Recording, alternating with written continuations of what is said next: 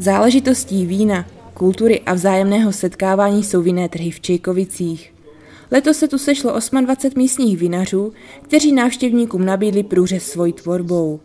Poslední májová sobota tak ve zdejším malebném prostředí vyzývala nejen k degustaci vína, ale na své si přišli také všichni ti, kteří do zámeckého areálu zamířili za pohodou a odreagováním se. Jsou to 22. vinné trhy v Čejkovicích, kdy už je to podle ročníku dlouholetá akce, kdy sami vidíte v krásném prostředí, při krásném počasí. Je to záležitost o víně, o kultuře, o potkávání se občanů a návštěvníků. Dneska je tu 28 vinařů, kteří produkují přes láhve, kteří mají svoje etikety, kteří jsou etablováni na trhu a myslím si, že je to takový ten průřez toho vinařství, který v Čejkovicích existuje. Čejkovská vína, my si hodně zakládáme na tom, nebo aspoň já a naše vinařství na tom, aby to bylo z kvalitní suroviny, aby ty vína byla čistá a abychom eh, v podstatě nabídli to nejlepší, co to víno umí udělat, co ten vinohrad umí, protože vždycky je to hodně o surovině, o té ruční práci, o práci a hlavně je to taky o srdíčku, o tom, jak ten vinař to pojme, protože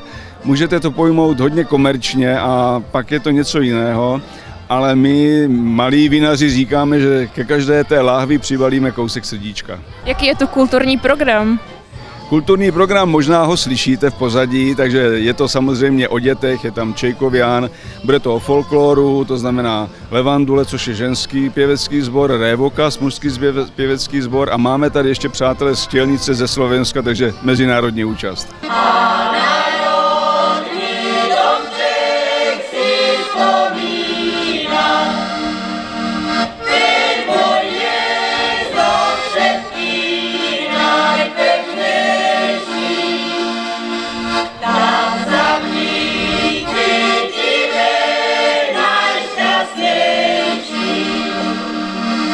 Jižní Mora samozřejmě je vinný kraj, jako je už dneska znám v, celé světě, v celém světě a samozřejmě podpora jihomoravských vinařů je naší prioritou. My chceme, aby na Jižní Moravu lidé nejezdili jenom za památkami, ale jezdili také na jídlo a na dobrou gastronomii jako takovou a k tomu samozřejmě patří výborné víno a věřte tomu, že 95% vinic je na Jižní Moravě, takže podpora Jižní Moravy a vinařství je mou prioritou. Organizaci akce pravidelně zaštiťuje místní združení Čtvrtečníci ve spolupráci s obcí. Také letos nabídli návštěvníkům nejen pestrou paletu vinných vzorků, ale také bohatý kulturní program, který byl zaměřen zejména na folklor a tamní tradice. Vinaři Čejkovičtí ostatní, vážení hosté, vaše prosby jsme přijali, milostivě posoudili a toto vám na vědomost dáváme. Víno chutnejte, chvalte, kupujte a vesele zpívejte. Škody nedělejte, košele sobě netrhejte a vinařské zákony zachovávejte. Když víno je z našich mozolů, spotu a práce, a takto k větší slávě Čejkovic, templářů i čejkovických vinařů prodávejte. Odkud jste sem přijeli? Z Kolína. A jak jste se o této akci dozvěděli? My jsme jeli původně s kamarádkama akorát na víkend a vlastně až včera, když jsme přijížděli, tak jsme zjistili, že tady jsou tady ty trhy. Co říkáte na zdejší atmosféru, jak se vám tu líbí? Jo, je to super, jsme spokojení. A jaká vína vás třeba nejvíce oslovila tady?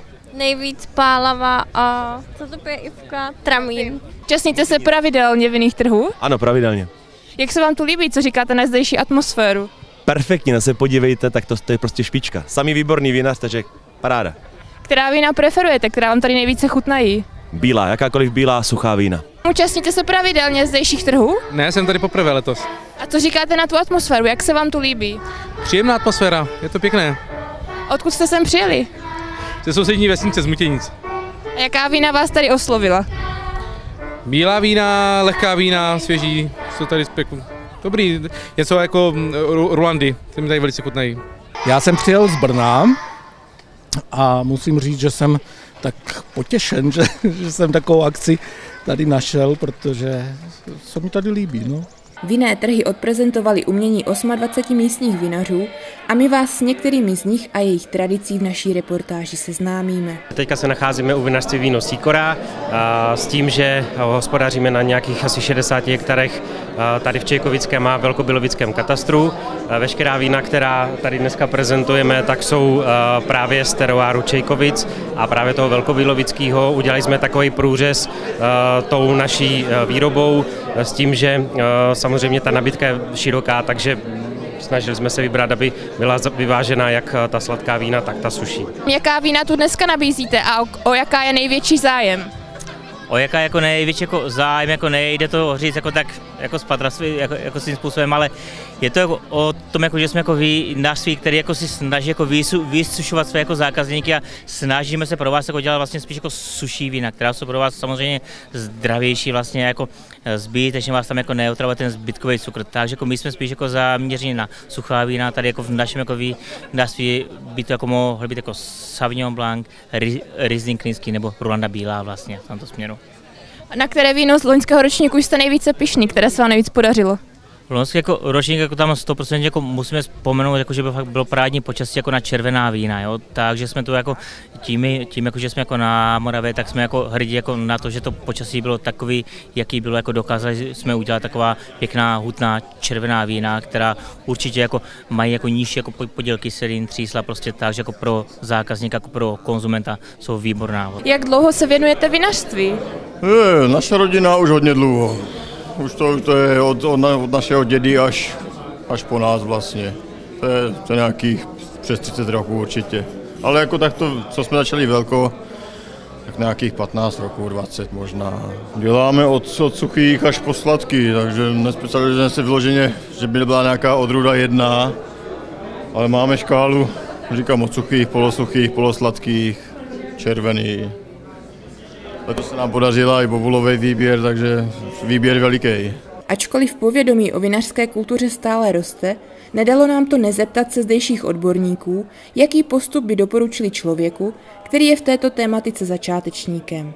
Jak tedy poznat dobré víno? Já určitě říkám, že pití vína je hodně komplikovaná věc a v podstatě se sejde 100 lidí a 100 lidí má různý názor, různou chuť a každému z lidí voní něco jiného. Takže v podstatě by se měl zaměřit na to, jestli má rád suší vína, sladší vína, více aromatičtější nebo méně aromatičtější a v poslední době se mi líbí, že v podstatě klientela se začíná o víno zajímat, začíná studovat v podstatě problematiku vinaření, a, a za, začínají jakoby vůbec cítit, cítit uh, ten rozdíl mezi světovými vínama a našimi vínama. Takže v podstatě není to úplně, že bych striktně řekl, měl by začínat s Vaškem, ale v podstatě měl by pít to, co mu chutná. Ideálně prostě navštěvovat co nejvíc podobných akcí a ještě jezdit přímo k vinaři, třeba na tu degustaci, tam se toho prostě doví ještě víc, tady těch lidí je třeba víc, e, není až tak moc eh, času na tu diskuzi, ale když přijde přímo k tomu vinaři, tak toho prostoru je tam mnohem víc, dozví se celkově o té výrobě vína, mnohem víc, takže doporučuji se vzdělávat